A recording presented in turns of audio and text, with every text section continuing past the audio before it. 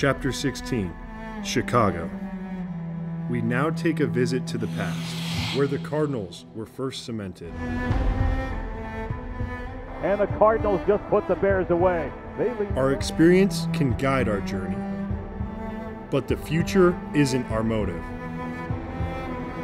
The present is our single vision. This game is no different. Game by game, we lay our foundation, despite the obstacles that may be thrown at us. Our toughest opponent is not the one who faces us, but rather the one staring right back at us.